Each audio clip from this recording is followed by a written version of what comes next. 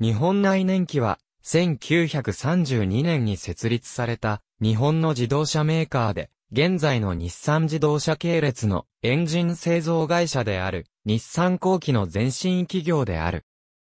1930年代から1950年代にかけ、黒金のブランドで、オート三輪、トラック市場の代表的メーカーとして活動したことで、後世に知られる。自動車技術者、牧田哲司の手で1917年に設立された、個人工場、就工車が起源。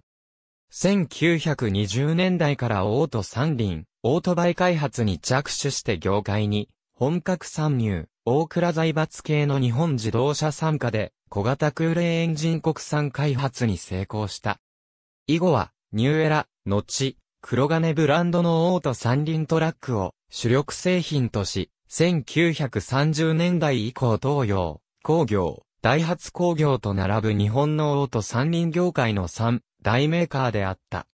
日本陸軍との関係が深く、戦前には軍用オートバイや軍用特殊自動車も製造したが、日本で初めて本格的な四輪駆動乗用車である黒金、4機を軍用に量産化したことは特筆される。戦後の放満経営から1950年代中期以降経営不振に陥り、1957年に大田自動車工業と合併、東急グループの参加に入り、日本自動車工業、後に東急黒金工業と社名変更したが、東急黒金工業も1962年に独立メーカーとしての自動車生産から撤退した。オートも GO。国立科学博物館の展示。創業者の牧田哲司は静岡県出身。後年にブランド、社名となる黒金は牧田の名前の一文字、鉄の和名である。1913年に東京高等工業学校機械科を卒業した牧田は学生時代から自動車開発の研究に打ち込み、1917年には機械工場、就工車を開き、自転車やオートバイの部品製作を行い、最初の自動自転車の試作も行った。1918年には、豊川淳也が開設した白洋車製作所の製作部主任技師となり、同社が1924年から生産化し1927年までに300台近くを生産した日本初の量販乗用車、オートモ号の開発、生産を主導、技術的経験を積む。1926年に白洋車製作所を退社、弟の正継に経営を委ねていた、就航車に戻った牧田は、自動三輪運搬車の設計に着手。1927年2月には1号車を完成させ、同年6月、前年の大正から昭和への改元にちなみ、ニューエラと名付けて発売した。当初は、黎明期のオート三輪のパワーユニットとして多用されていた英国ジャップ製の空冷サイドバルブ短気筒 350cc3 馬力エンジンを搭載した 180kg 席使用価格830から930円という設定である。ニューエラ号はチェーンが外れにくく調整も容易な独特の構造など完成度の高い設計で人気を博し、発売5ヶ月で20台を売り上げる順調なスタートを切ったが、従業員7から8名の零細工場では、経営者の牧田自身が作業に加わっても、生産規模の拡大は到底期待できなかった。この頃、陸軍自動車学校研究部の長谷川正道の紹介で、牧田は当時の最大手自動車販売業者の一つである、大倉財閥系の日本自動車の社長、石沢愛蔵の地部を得た。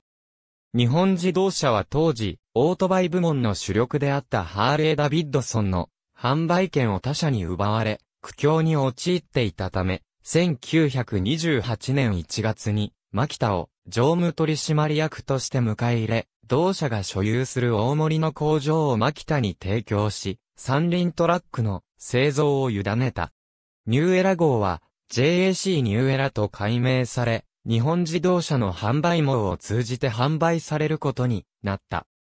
牧田は翌年の1929年、ジャップやサンビームを参考に自社設計の 347cc4 ストローク、空冷短気筒エンジンの自社開発に成功、JAC ブランドを与えて市場に送り出す。さらに無免許運転の可能な許可制小型車の範囲が 500cc までに拡大されると、これに対応して1930年には 499cc エンジンも完成。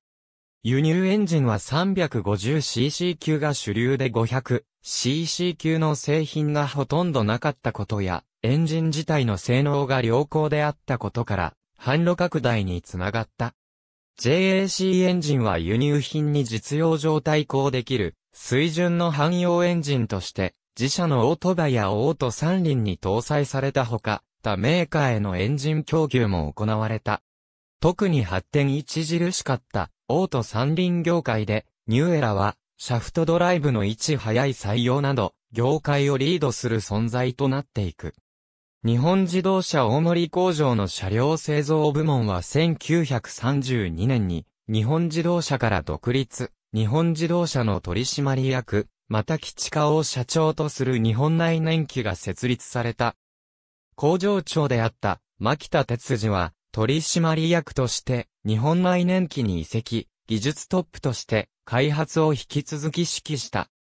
その後長く同社製品の特徴となる空冷、V 型2気筒エンジン搭載車の開発など、拡大を続けるオート、三輪市場のリーダー格の地位を守り続け、1930年代中期以降は、東洋工業、発動機製造と並ぶ三大メーカーの地位を確立した。この間、英語名では、当時のユーザーに親しみを持たれにくく、また競合メーカーからは、ニューエラーだなどとブランドをもじった悪口を言われるなどの難もあったことから、1937年には鉄に象徴される当時の軍国的風潮に乗じ、牧田鉄次の名とも絡めた黒金にブランド名を変更した。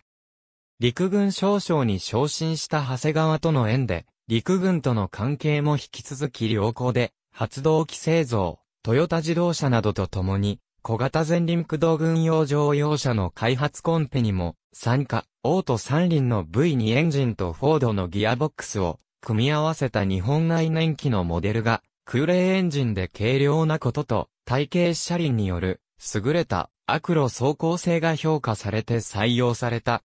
1935年以降、95式小型乗用車として配線までに約4800台が生産され、戦線に投入された。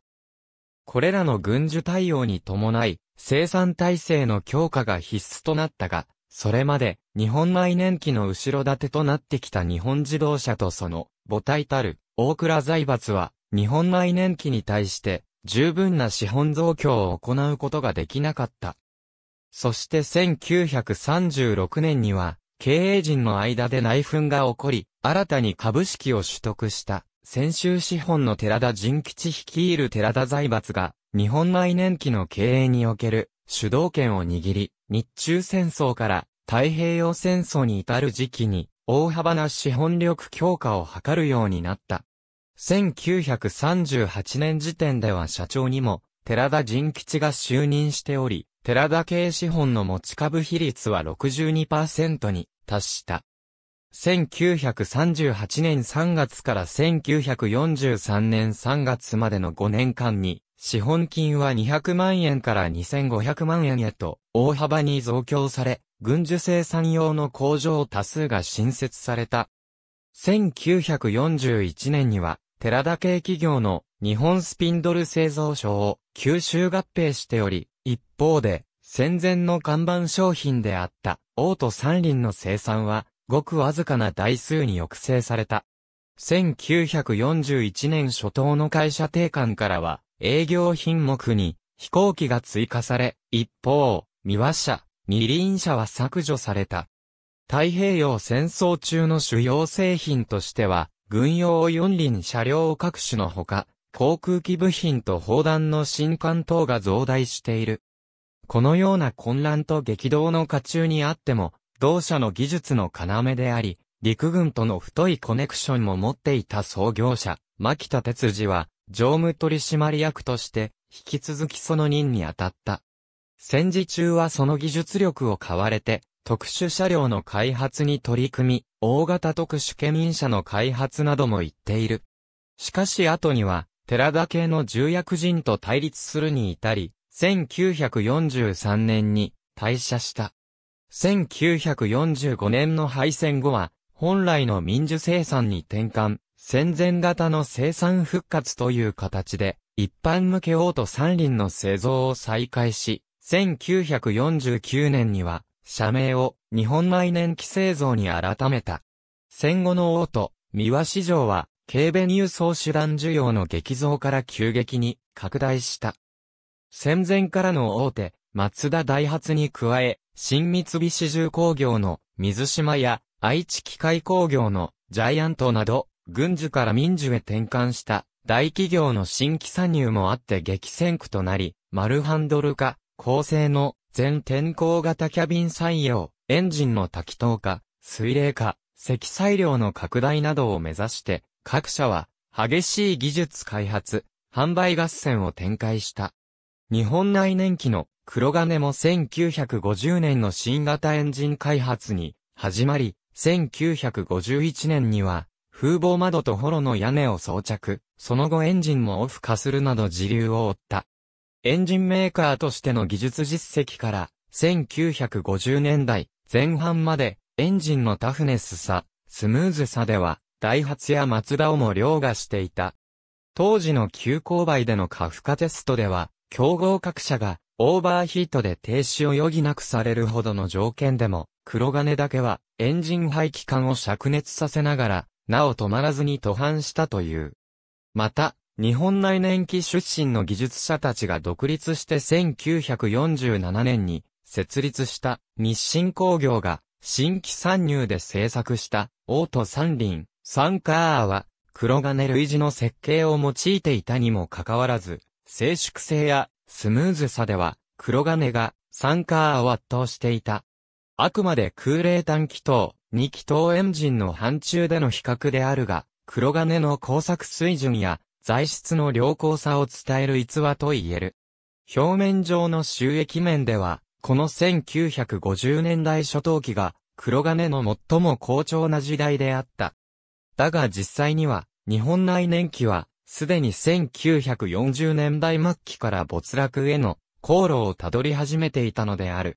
戦後混乱期は、オート三輪にも、高低価格制が実施されており、着実な需要から、作れば売れ、収益になったが、この情勢下でシェアを確保するには、量産体制強化による供給力向上が必須であった。ダイハツとマツダは、量産体制の整備を急ぎ、シェア拡大効果を享受できたが、日本内燃機はこの時点で大きく出遅れた。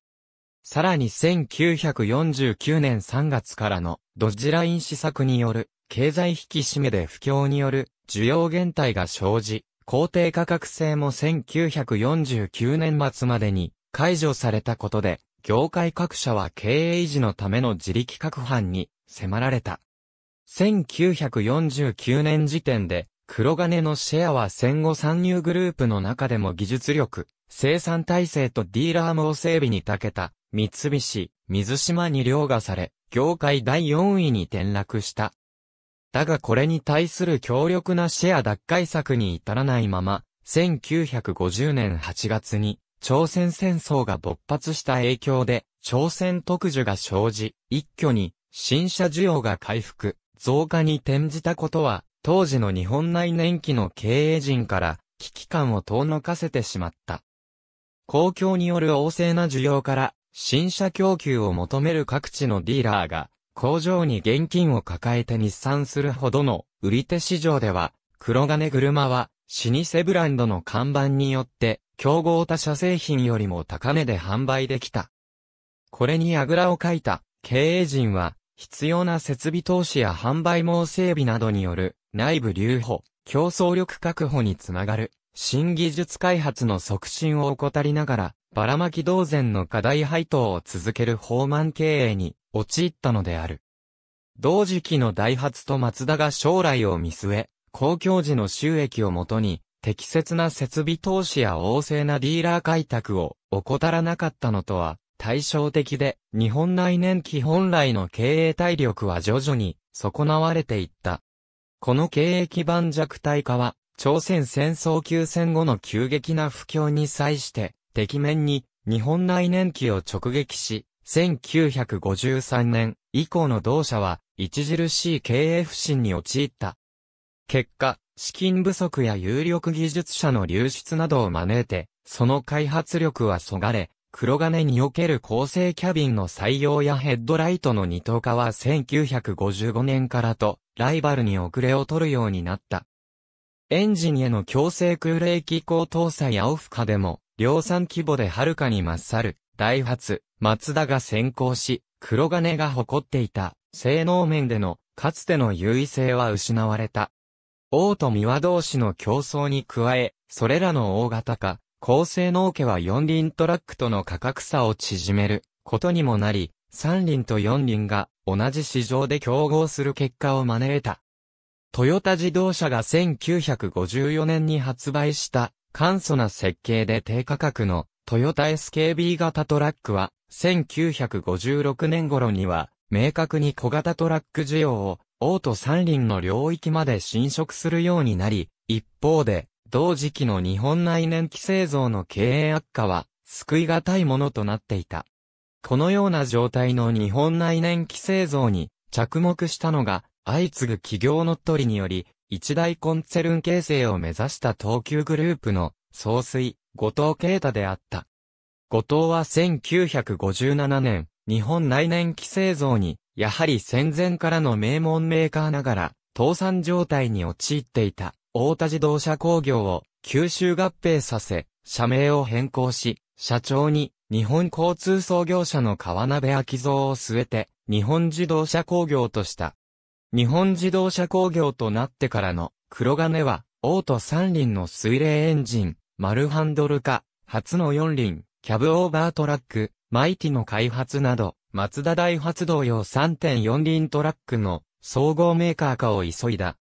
しかし、かつての名門、くろがねブランドを支えた日本内燃機系の有力技術者や、オオタの主力技術者たちは、両社の朝鮮戦争後の経営悪化や合併前後の人員整理を機に多数流出しており、競合の激しい小型トラックカテゴリーで競争力の高い製品を開発することは困難だった。また電鉄系資本の東急グループは、自動車販売網整備のノウハウがなく、この点でも先行きは暗いものであった。水冷エンジンの新規開発ができないために、大田系の既存水冷エンジン流用で、競合メーカー並みの体裁を整えた三輪四輪トラックを急増したり、新型オート三輪の一部には、市場で主流化した油圧ショックアブソーバーによるテレスコピックサスペンションを前輪に採用できず、気とせずして球体化したボトムリンク式喧嘩を用い続けるなど、開発力の低下が顕著となっていた。一方で、オータトラックの後継モデルとして開発された1959年の小型四輪、トラック、黒金、ノーバのために、このクラスの車両には過剰設計な後輪空気バネをわざわざ開発して標準装備するなど、市場ニーズと乖離した的外れな技術開発も見られ、経営、開発方針の迷走は明らかであった。やはり1959年には、計4輪、トラック市場にキャブオーバータイプの機能的モデル、黒金、ベビーを発売して進出した。この軽トラックは、優れた先進的な設計であったが、実は、大田自動車の創業者、大田幸代の失速で、立川飛行機系企業となってしまった大田から離れていた大田博重に開発を移植した社外設計者であった。